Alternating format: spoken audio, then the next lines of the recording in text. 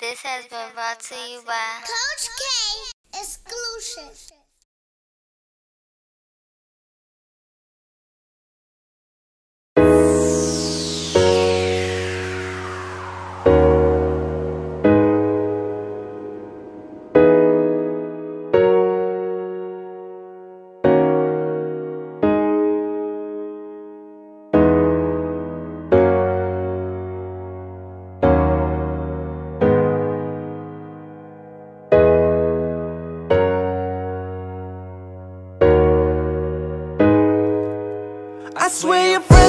Got say so. Seems like everything that they say goes straight to your head, but you never think about what they done said or what it's even about. You just jump to conclusions. Why they paint the illusion? Now you're stuck in confusion when you just could've came to me. And we could've talked about it. Talk for hours just making up and 216 in Park, Cleveland's underground music video countdown show, live. Oh Lord, who else doing it like me? 216 in Park and shooting movies every week. I'm like, oh Lord. Couch off the road, 216 in Park. We're at Take 5 right now, doing what we do best. I have Shine, Storm and Rondé the Prophecy here, a couple of dope artists. So I'm from Canton, one from Cleveland, you know it's going down. Why don't you guys tell them a little bit about yourself, starting out with Sean? My name is Sean Cartel, Geeker Records, baby. We doing that. We doing that mixtape. We coming at you live. It's gonna be the Rock the Mic 4. My name Young Storm the Future, YSTF. People call me Young Storm. You can follow me on Instagram at Y not underscore YSTF, Facebook Storm AP Sanders, Twitter Storm Shoot First, and I'm repping Geeker Records. Huh. Yes, my name is Rondé Tramiel, known as Rondé the Prophecy from Bridge City Kings Entertainment, representing 216. Year of the Future, look out for the CD. It's coming soon. Yes. I'm to start with Shine. Um, do you have anything coming up for the 2015 that you want to tell them? You know, not too much, a little exclusive something. Just let them know. I got a CD called The Love Life Collage. Gonna be featuring my cousin Storm on it. We doing a lot of things. Sean, the real Sean Cartel at IG, or just Google Sean Cartel. You'll find us, man. I'm, I'm working on that right now. You know, I got a band. We about to do some stuff for the live band and everything. Get at y'all, man. We, it's, it's something different than what you used to. And I'm working on uh, a new project, uh, my new album, Deader in Jail. And um, I got a mixtape out right now on Dat Piff and um, live mixtapes, Pig Watch, uh, Trap Bros with me and my young bro Trump. Shout out to him. Um, if you need any kind of information, holler at my uh, manager, Gary Linden, on Facebook. And, um, you know, we're going to keep going, keep working. Yes, well, I'm also working on an R&B CD and a rap CD. I'm also working on the GMB CD with my brothers and them. So we got a lot of music where we trying to give back to the community and let them know we still love y'all. Look out for us. Yes, yes, we got a Canton turn up, Cleveland, of course.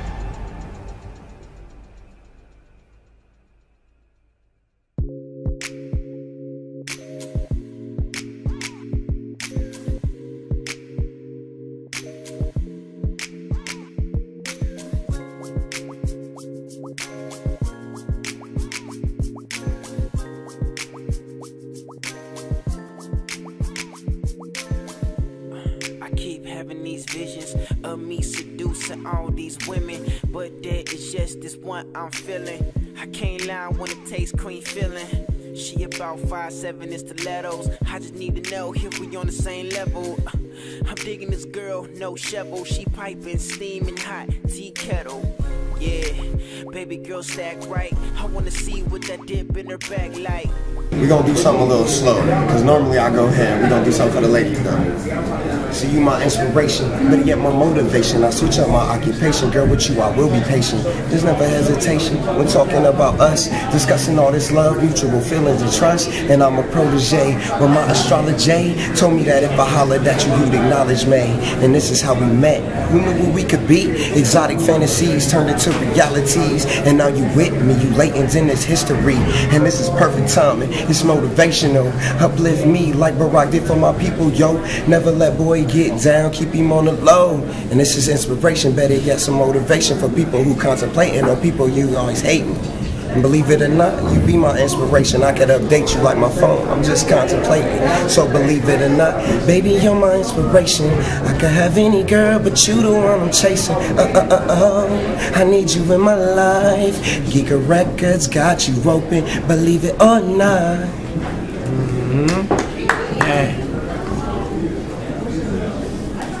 Look, look, look, look, you. I'm gonna give y'all something. We'll talk to you, mommy. Let you chat for a minute. I see you finding all in the room full with G2B in them. First off, let's take it slow. First off, let me ask for the name. What kind of catcher like are you when the playing any games? My name is Rondé, but the prophecy what people call me. Look, here's my number. Anytime, baby girl, you can call me. But if you don't call me, girl, I won't be so damn sorry. Cause it ain't no guarantee that your sexy self is gonna call me. I'm doing my thug thizzle. Oh, you ain't know I'm a rapper. I mess with OG, brother. Shout out to the trappers. But back to you, my little lady, with your sexy self, your chocolate complexion. This night your butt just caught me by surprise. Damn, got them cute ass lips. Can I see how they taste? Once you kiss me, your love stuck. How the prophecy tastes. I know you want me. I can see it in your eyes. They so bright. But tonight ain't got it in. Won't you come stay tonight? Come chill with me. Come stay tonight. Yeah, It's real. we live at Take Five. Take Stay tuned. 216. In part, I'm sitting in the room, filled with a couple docs laying on the bed. Gave your boy a couple shots. I'm thinking this the day that young fame came alive. Threw me in my mother arms, looked me in my baby eyes. Seen my daddy too, but I ain't seen him in a while. And I bet you when I'm mad, man, that we to make me smile. It's December. Yeah, Tristan on the track. young.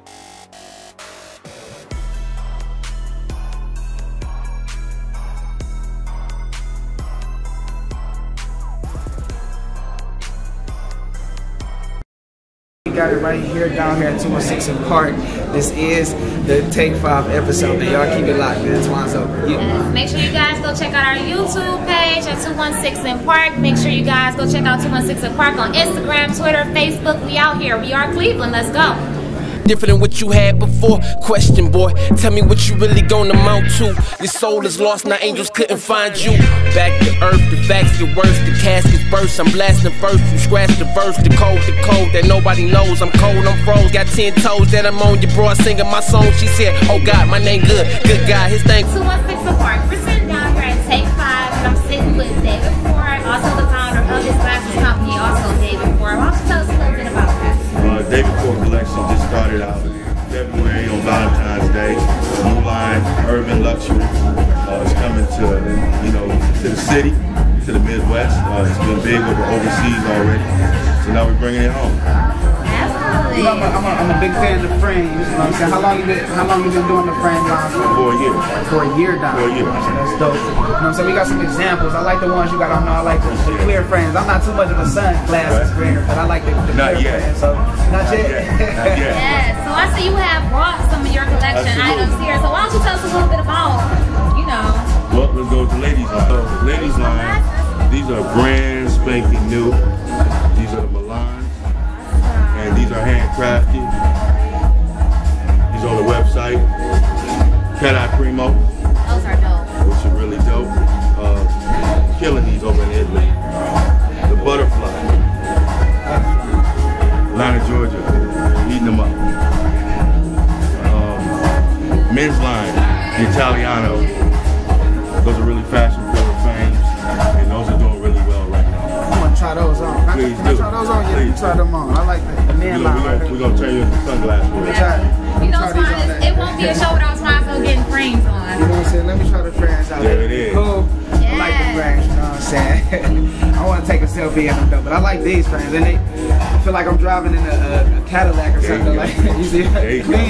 So gotta- what you gotta drove you put the frame. to create this collection?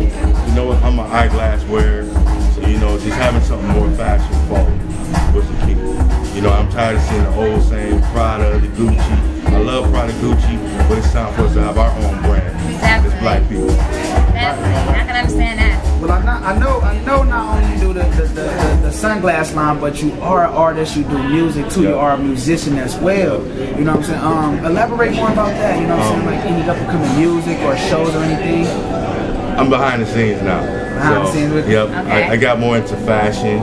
So, you know, I do, you know, I still work with artists, but on like the more business level. You know, but I used to produce. I owned a 3D recording studio, which was the largest in Cleveland. You know, so I love my city, so I give back to it. Definitely. So you definitely were a number of past. So how can anybody get in contact with you? What's your, you know, media Okay. info? uh, website www.david4collections.com. They can reach me on all social media, David Four Collections. Definitely. Day before at 216 Park. We're definitely down there at Take Five, so make sure you guys stay tuned for more. Mary brought money to the strip cause my stripper was better. Got a lot of ice on, I like changing the weather. Backseat with a foreign in a foreign whip. I got hood that no hood, so my eyes brought a stick. Uh. yeah, mothers gotta ask for a pass on my city cause they think they coming first, but they really coming last in the city. A real bad boy asked Trump and Kennedy. I brought money to the strip cause my stripper was better. I got money, she got money. 993rd, round the corner from Moses and Dirty Birds. Stand back boys, the culture down 93rd. Just my end of business, don't say a word. It's work to be done, I finesse it by hand. Start with a quake, but I end with a grand. But it's all gonna be cool, cause I scoop the tree, man. This is just a cool day when we roll through the land.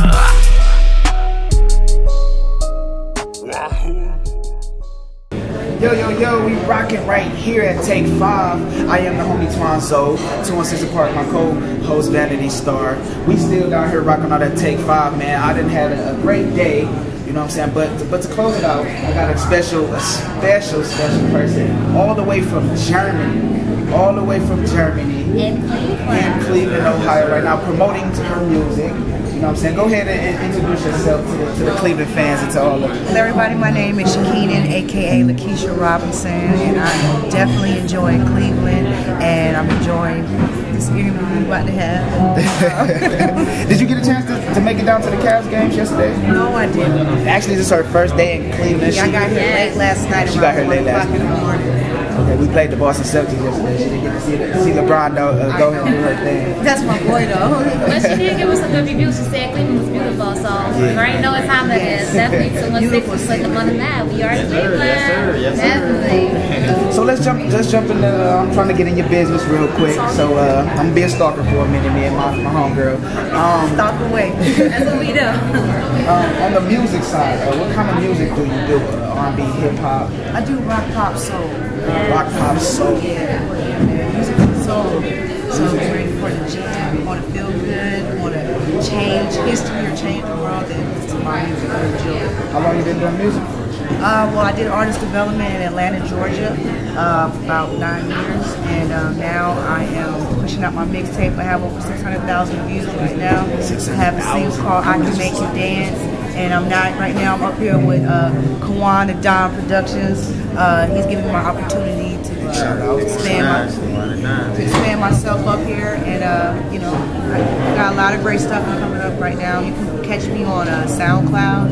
Uh, you can also catch me on Reverb Nation um, under my AKA name, uh, Lakeisha Robinson, because I'm doing like some mixtape type of stuff. But when my single comes out, uh, we're looking for Shakina.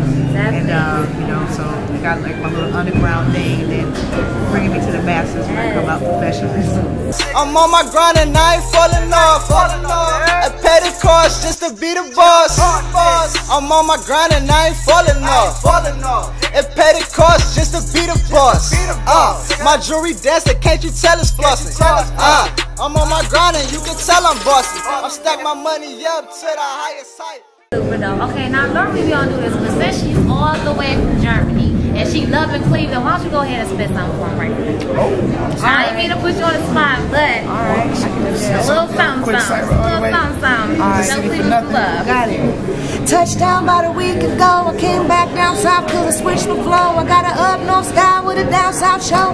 Better something now cause I'm about to blow. I got a body what that holds me down. Gotta they lock the stuff down. So all I gotta do is just bless the crowd. Make the ends come in how you like it now. I'm not here trying to kick flows, but I got hot lyrics that touch the soul. Come out through your heart, make your mind explode. Come on now, you know it's better than gold. I'm maintaining no more raining. Shouts out to the one that taught me the game. Yo, yo, I'm professional.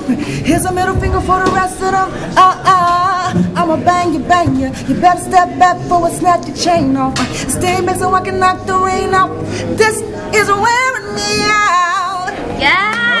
Yes, don't, I was about to say, don't give him too much. Don't give him too much off the album. Don't give him too much off the album. That was crazy though. I love the tune. It's, it's different. Different, yes. So uh, y'all, y'all got the exclusive first. Y'all, you know what I'm saying? Got the exclusive first right here on 216 in Park. Yeah. You know what I'm saying? Make sure you shout out, follow her on Twitter and Instagram, man. Yeah, 216 follow me under Lakeisha Robinson under Twitter, under um, Instagram. Also, you can find me on Reverb Nation, Lakeisha Robinson. You gonna love it. Check me out on SoundCloud. I'm coming to you. I hope y'all ready. Um, to take over. That's Take it. And over. make sure you guys Take over. can't forget my homeboy. You gotta shout out his social media and everything. Like you know, you Stay Wine Dime, man.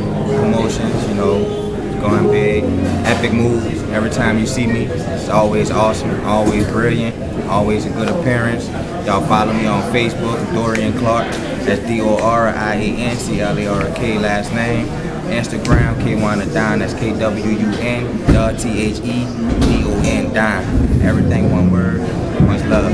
Yes, definitely. Couch off the road, 216 in Park. We get the exclusives. You're only going to see it right here. Make sure you guys go on YouTube. Check out 216 in Park and everything. Twanzo, let them know. Y'all already know, man. 216 in Park. Make sure y'all get on that YouTube, get them views up, man. It's gonna be a crazy summer for us, man. We out of here. We are Cleveland. All day.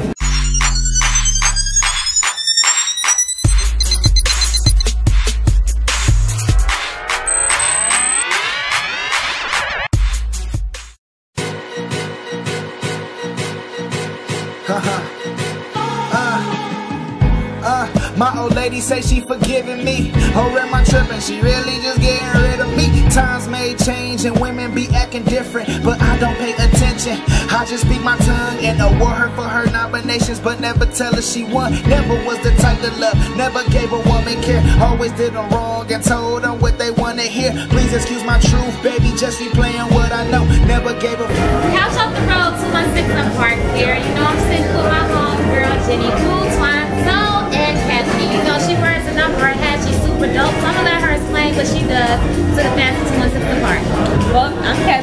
aka Kevy. I'm from Cleveland, born and raised, and currently I am assisting with marketing for the foster and adoption population, um, being in foster care myself, but more importantly, you know, just trying to help those nonprofits find funding and um, finding children's homes.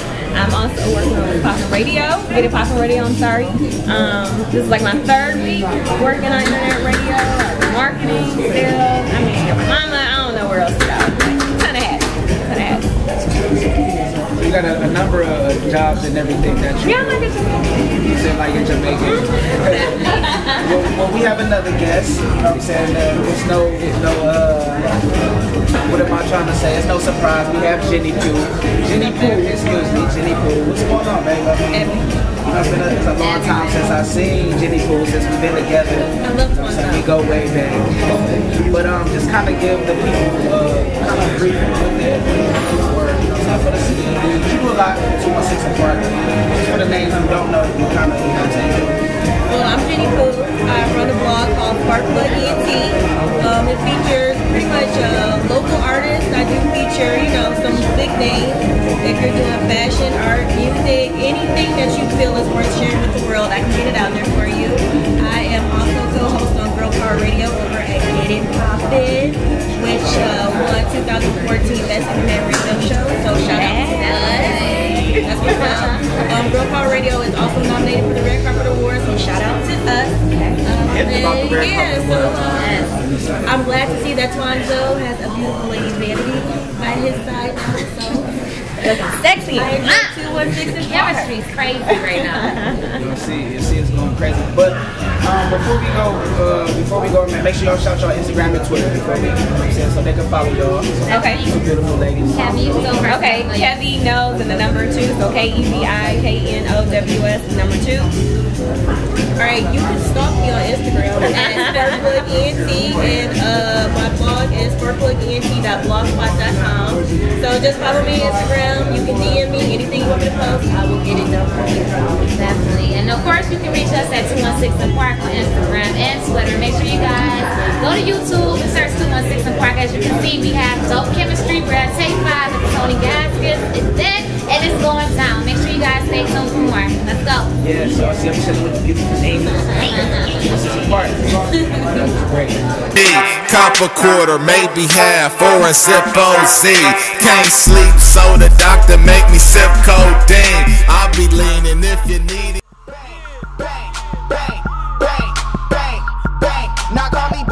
Yo, welcome back to 216 in Park. And we are finally caught up with the man of the hour, Tony Gaskin. Um, I'm excited, you know what I'm saying? Um, when I got the call, before we start off, before I, when I got the call and uh, Big Hef let me know that you were going to be in the city, and I immediately jumped on for media.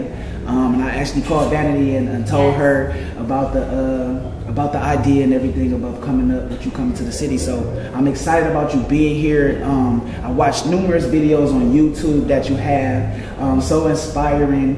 It's a, it's a it's a lot. It's a million questions that I want to ask you, but I'm gonna stick to my script. I'm gonna stick to the script. So, um, well, first of all, my question is, um, you were on the Tyra Banks and the Oprah Winfrey show. Right, You know what I'm saying? So you, you got to meet Tyra, you know what I'm saying? Tyra Banks, shout out Tyra Banks, you know, you know model. But uh, um, how was that experience just getting to meet them, actually talking backstage with them, getting to know them, you know what I'm saying? Right, right. So You don't get to get that close to them. You know, you talk to them, hey, how you doing?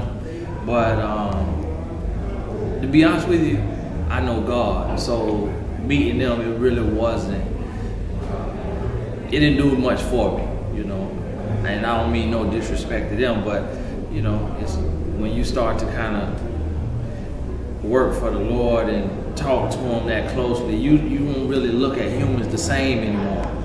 And so I kind of was looking at them almost just kind of, you know, it was like a, a pathway.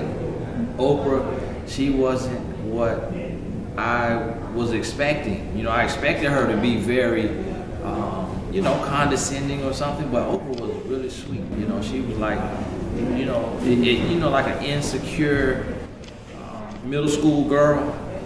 That's how her spirit is, like that humble when she doesn't have to be, you know. And Tyra was like the opposite, you know, very, you know, kind of bold and strong, you know, personality, strong presence. But um, you know, I just, hey, how you doing? And I did the interview, and uh, that was it. Oprah let me stay on a lot longer than Tyra too. You know, they the producer came to move me after five minutes when I was on Oprah. Oprah said, no, leave, leave him here. And my five minutes turned into 55 minutes. And um, so, you know, it, it was a blessing. It was a blessing, but I know it was it was orchestrated. You know, now you said that it didn't do anything for you, but I, I, I as far as meeting them, like I didn't feel, I ins- say, I didn't feel inspired. No, Okay, I, I didn't okay, feel, I didn't feel inspired because it's when you really get in there, you understand, you see the business side of it. You know, it's not a lot of heart in it. You know, and it's really they reading off a card. You know, and somebody else wrote it. It's, it's not really. I'm more inspired sitting talking to you and her than I would be you know, on mainstream television because it, they become. Just a little bit.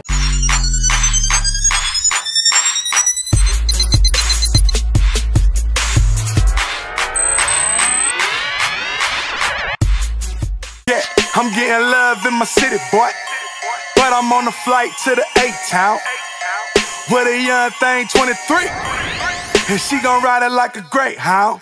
Yeah, I'm in the. I want to take it a little bit back when you were younger. So you grew up um, as the pastor's son. So by you growing up as a pastor's son, can you kind of tell people how that was for you growing up as a pastor's son in Florida? Um, it was. I was very close to the Lord. You know, I had to instead of reading school books for homework, my homework was reading a chapter from the Bible. You know, I used to have to read a chapter from the Bible every day and write a summary. And so it really got that word in me, you know, that wisdom, you know, and that level of thinking at a young age. And so, it, to be honest with you, it shaped me. You know, it shaped me, and that's the wisdom that I draw from now.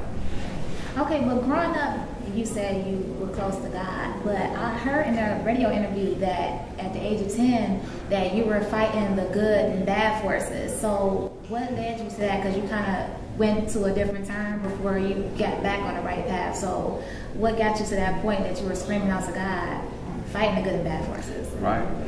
Uh, what I meant is at the age of 10, I started crying out to God. But it was by 15 when I started becoming under attack, so to speak, uh, by the adversary. When I lost my virginity, I went to jail at 15 for stealing. And so it was kind of like, you know, when you're trying to do good, Mm-hmm. the negative will come tempt you. And when you're doing everything negative, it's like it's all hands off of you until you self-destruct, you know. And so because of the gift that was in me, uh, my adversary was trying to steal that. And so I, I was lost from 15 to about 23. You know, selling drugs, womanizing, just completely, you know, searching, trying to find myself, and I had to find my way back home. And of course, God was always in you. But um, I wanted to ask: Is your outlook of how you looked at things back then? You said that the only thing for black men were sports, um, Being overworked, overworked, and underpaid, and Drug um, drug dealing. Yeah. So, do you still have that same outlook? Now that you found yourself and you're more established and you know where you're going and you know where you're at, do you still have that same outlook? Um, not me personally, Mhm. but I still feel like that's what the youth think. You know, until until they see people like me, you know, doing what I'm doing as a speaker and a life coach, until they see me on television and they see me sign an endorsement deal with Nike or a spoken word deal with Def Jam, they're still going to think I'm either gonna be in the streets being tough, or I'm gonna play ball like LeBron, or I'm just gonna try to get through high school, graduate, maybe go to college, and then end up working on somebody's job. You know, we we really we aren't raised to be successful entrepreneurs. You know, certain households, but not as a whole. You know, as a majority. So you know, me being a successful entrepreneur, owning companies, uh, writing my own checks, it was the craziest thing when I wrote myself a check from my company and I had to sign the front of it. Oh, and I signed the front of it and then I realized to put it in the bank I had to sign the back of it. So I'm like, whoa, this is what they mean I signed my own check. because my name was on the front and the back. And I'm like, wow, that was you know, it was crazy, but you aren't taught that as a child, that you could be signing your own checks. And I, I had got to the point that I literally was from one of my companies writing myself a salary check for ten thousand dollars for that week, and because the lady at the bank told me we need to see salary checks going into your personal account, you know, for when you get ready to buy a house, and so I started writing myself salary ten thousand dollars a week, and I'm signing the front, signing the back, and I'm like, wow, nobody told me I would be doing this or that I could do this when I was in elementary, middle school, high school, not even in college.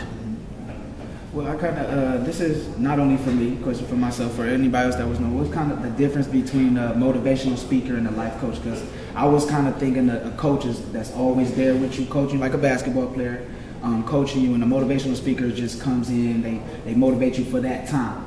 Give you words to, to carry on, but a coach stays with you, like, well, be respectful. I'm gonna keep telling you to be respectful every day. You know what I'm saying? So is Right. it like same as a motivational speaker and being a life coach?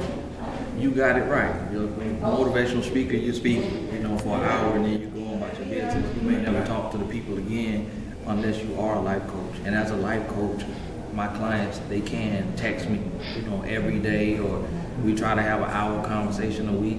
And so a life coach, it is. I'm calling plays for life. You know, I'm talking to them and we're talking about what they're facing, and I'm just giving them sound feedback, you know, sound wisdom and advice. Encouragement, right? Yeah, and so it, it is two totally different things. And motivational speaking, it can be learned. You know? So you know, some people have seen me on K Michelle's show, uh, on VH1 coaching her, seen me on the game and Tiffany's show coaching Tiffany. Uh, about to be on Evelyn Lozada's show with On. You Exclusive, with these are exclusive, exclusive, exclusive, y'all. Two one six apart, y'all. It's exclusive. That's Tony Gaskin. And you know, that those people in that space, every space, just infiltrate the system. Well, there y'all heard it first, an exclusive interview with my man Tony Gaskin right here on 216 and Park at Take 5. Um, make sure, before we go, uh, any websites, your Instagram or Twitter they can follow you on? Tony Gaskins, across the board. Everything, social media, just my name, Tony Gaskins. Twitter, YouTube, everything. Y'all heard it first, man. Everything, man. Make sure y'all use them useful tips my man gave you. I appreciate you for being on the show. Thank you, you know what I'm saying? Most definitely. Y'all gotta stay tuned. We got more to go. 216 and Park. The man in the streets that you wanna be. I'm getting to the money, bet y'all don't. Y'all wait in line for your J's. I don't. I got J's on my feet you ain't seen yet. With the J's, I keep the plugs like the outlet. And